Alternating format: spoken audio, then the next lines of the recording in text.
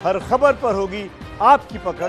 Download कीजिए ABP live app तो corona को धोना है एबीपी न्यूज़ पर यह मुहिम लगातार आप देख रहे हैं। स्वामी रामदेव भी हमारे साथ जुड़ने वाले हैं, उनसे भी हम बातचीत करेंगे, लेकिन उससे पहले एक बड़ी खबर आपको बता दें।